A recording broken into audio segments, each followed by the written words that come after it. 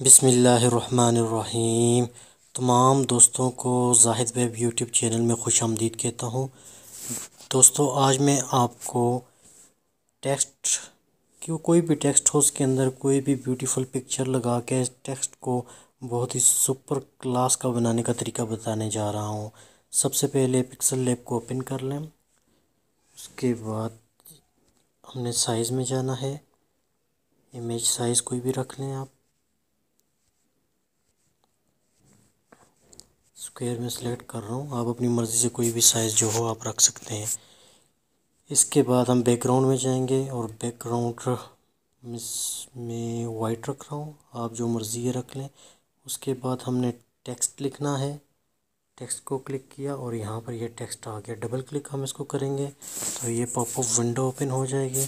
تو اس میں سے ہم نیو ٹیکسٹ کو اریز کر کے یہاں پر ہم لکھ لیں گے زاہد۔ اوکے کر لیا۔ ڈن یہ دیکھیں نام آ گیا۔ اب یہ سائڈ کارنر سے پکڑ کے آپ اسے ڈریک کر کے بڑا کر سکتے ہیں، جتنا آپ کو ریکوائرڈ ہے۔ یہ ہو گیا۔ اب ہم اس کو، اس کی تھوڑی سی سیٹنگز کر لیں گے۔ اس کو تھوڑا سا بولڈ کر لیں گے، تاکہ اس میں جو پکچر لگے وہ تھوڑی کلیئر نظر آئے۔ فونٹس بھی ہیں، جو آپ کو اچھا کوئی فونٹس لگتا ہے، آپ اسے سلیکٹ کر سکتے ہیں۔ میں نے یہی رکھ لیا۔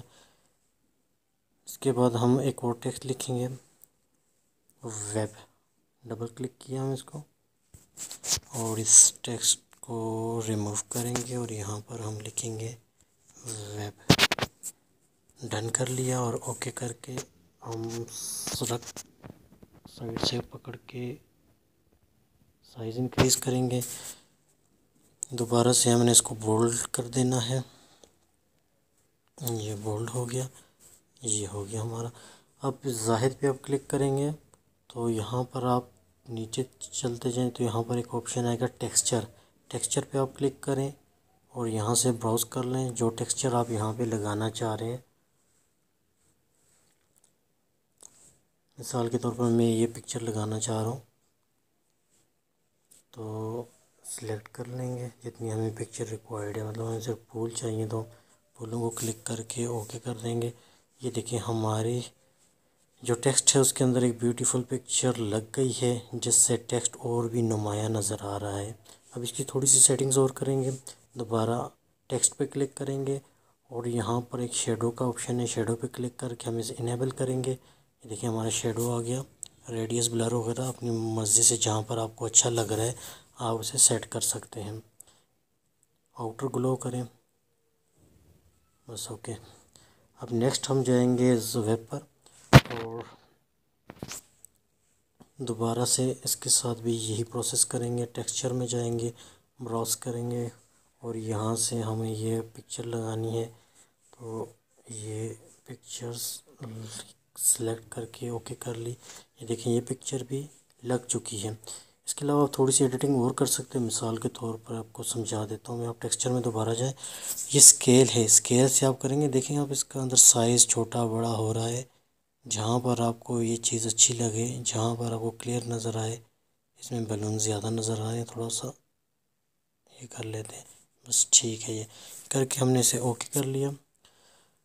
اس کے بعد ہم اس کے بھی جائیں گے شیڈو میں اور یہاں سے ہم اس کو شیڈو رکھ لیں گے۔ تھوڑا سا کم کیا اور یہاں سے آؤٹر انیبل کر لیا۔ یہ دیکھیں یہ دیکھیں، بہت ہی پیارا ٹیکسٹ لکھنے ہو چکا ہے۔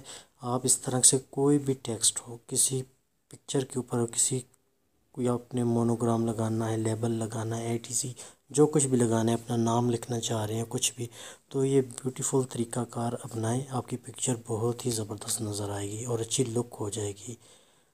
اگر آپ کو ویڈیو پسند آئے تو لائک لازمی کیجیے گا، اپنی رائے کا اظہار کمنٹ میں لازمی دیجیے گا اور اس طرح کی اچھی اور مفید ویڈیوز کے لیے ہمارے چینل کو لازمی سبسکرائب کریں۔ اللہ حافظ۔